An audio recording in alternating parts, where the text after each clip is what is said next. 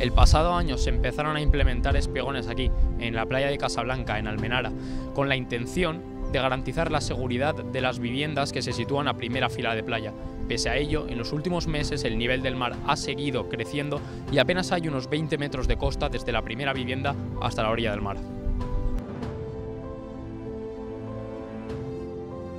Pues hace 20 años lo recuerdo que había una, una fila más de, de chalets y otra calle, y otra calle detrás.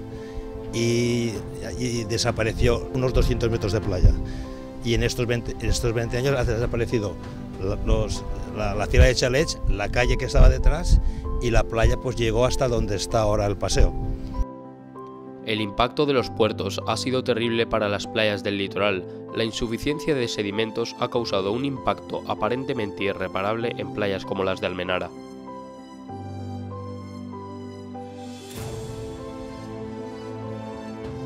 Solución sería, por todos los medios, intentar parar la, regresión que está, está consiguiendo el mar hacia tierra y entonces eh, las aportaciones de áridos que se han hecho, que han sido alrededor de unas 75.000 toneladas, creo que, que ha beneficiado. Los espigones que se han hecho, bueno, pues también han beneficiado.